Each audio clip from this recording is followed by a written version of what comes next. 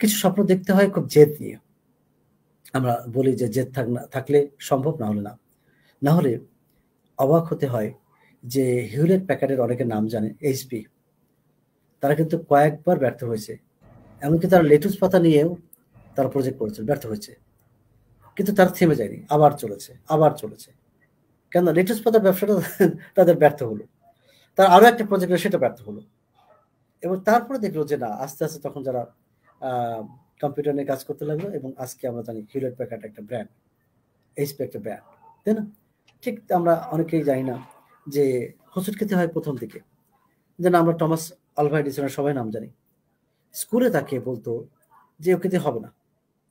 হ্যাঁ তাকে বলতো স্টুপিড এবং তাকে যে হবে না মনে করে টিচার তাকে বলতো যে ওকে দিয়ে কিছু চলবে না। অথচ সেই পৃথিবীর কয়েকটা হাতে গোনা বিজ্ঞানীর মধ্যে উনি একজন।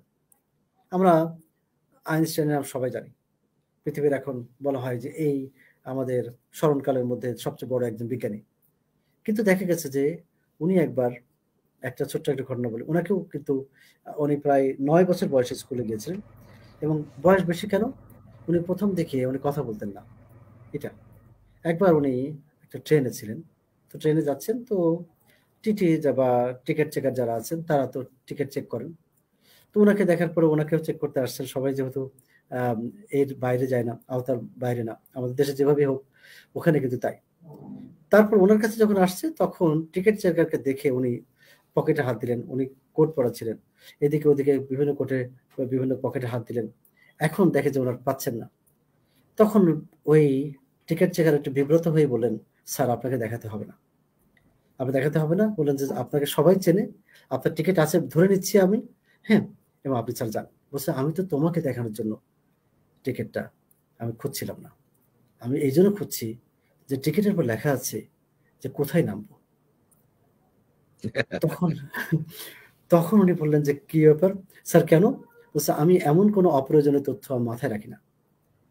অর্থাৎ যে প্রয়োজনীয় তথ্য যতটুকু দরকার তার বেশি আমি রাখি না। এটা উনি বললেন। উনি বললেন যে আমি অযথা সময় নষ্ট করি না।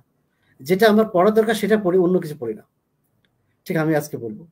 তুমি হতে চাচ্ছ বিসিএস করার, তুমি হতে চাচ্ছ দেশের বাড়ি যেতে চাচ্ছ, তুমি একজন বড় কর্মকর্তা হতে, তুমি একজন কর্পোরেট লিডার হতে চাচ্ছ, তুমি কেন এমন কোনো সাবজেক্ট পড়ছো যে সাবজেক্ট তোমার কাজে লাগবে না? আশা করি বুঝছ আমরা এই রকম কিছু পড়ব না, এমন কিছু করব না, এমন কিছু থেকে যাব না, যেদিকে আমাদের সময় নষ্ট হচ্ছে। অনার্স পাস করার দরকার হচ্ছে এটা ঠিক, কারণ না হলে অ্যাপ্লাই করতে পারছ না। কিন্তু এমন কিছু পড়ো না যা তোমার কাজে লাগবে না।